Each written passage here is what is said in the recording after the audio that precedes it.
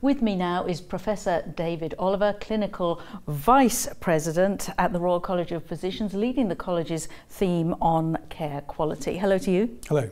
Now, what does care quality encompass? Well, there's a, a various definitions, but to try and put it in you know, categories, if you like. The first is, is the care we deliver for patients effective? In other words, are we doing things that work and are based on clinical evidence? Is the care equitable? In other words, do we have equal access to care between rich, poor, disabled, able-bodied, uh, different communities? Is it efficient? So are we, for the limited resource we have in healthcare, delivering the best care we can for the money we have? Is it patient-centred? So it's all very well doing, say, an operation or giving a treatment that does the job, but we have to take into account patients' preferences and measure things that matter to patients. And then the other thing is, is it timely? because it's no good having high quality care if you can't access it for hours or months. And uh, is it safe? There's a big concern right now about patient safety, We might deliver a treatment that works quite well, but if it has a high risk of complications or risks like infections, we have to minimise those. So it's getting all of those things right. And where do you think the UK falls short in achieving this, and what are the challenges? Well, it's not just what I think. There's a lot of international reports comparing different health systems. And the consensus is the UK does very well on efficiency and value for money. We have a relatively few doctors and nurses and beds. We do extremely well internationally on equity, so access between rich and poor and different groups we do well. However, on some outcomes in care, things like survival rates from cancer or stroke or heart disease we're sometimes in the middle and we have an issue about variation sometimes that we have still quite big inconsistencies between different sites, as far as being person-centred or patient-centred, there's a lot of still very good feedback and high public satisfaction with the NHS. It's still very popular with the public, but I think there's so much pressure on both hospital and primary care services that sometimes we can forget people and we can forget their carers and not be responsive enough to their needs. And what responsibility do you think that physicians have to pursue quality improvement and how do they fit it into the, their role?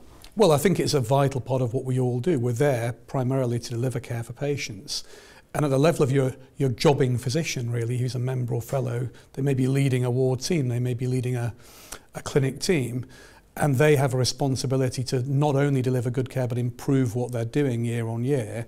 But of course, doctors are often in leadership roles as well, so maybe the lead clinician for their department or the clinical director for their service, and they have a key role to combine their clinical day job with providing that leadership across the service. And how does the Royal College of Physicians support physicians in doing this? You know, what tools or resources do you provide? Well, we do a variety of things, and bear in mind we do this with 31 different medical specialties, so we're quite a broad church.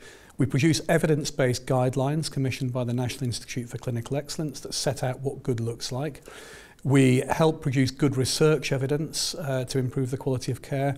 We do service accreditation for some schemes where we give a kite mark to teams that are doing all the right things.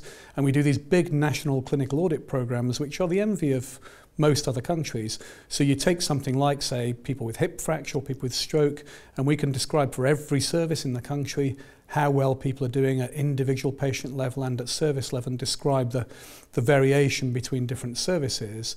But where we want to go is spend more time helping people to improve. So we're already good at setting out what good looks like, measuring whether people are doing the right thing, but the next stage is do more practical kind of roadside assistance to help people get better. But you facilitate mentoring, do you? So yeah. a trust that's doing well will come and help it. Yeah, so we have something that we've started quite recently called the Quality Improvement Hub, and people will come to us for assistance in understanding their own service better, helping to identify and measure their own solutions. Uh, and one of the examples there is our future hospital work, where we're working with a number of sites around England and Wales, helping them to improve their local services with quite a lot of patient and user involvement. We also do something called invited service reviews, where a service may be struggling in some way, and we can get some experienced clinicians to go in there, speak to everybody, and provide some fairly grounded, hopefully credible recommendations on how they might get better. And what more or could do you think the Royal College of Physicians do in pursuing quality improvement? Well, I think quality improvement in terms of helping local teams improve what they do is a really coming area in healthcare. Because a lot of the difference you can make to patients, the devil is in the detail at what you do on the ground in your local service. And those solutions have to be tailored to where you're working in your local context. So we want to start equipping both junior doctors and senior doctors and the teams they work with with more of the skills to measure what they're doing and improve it continuously, build that kind of capacity.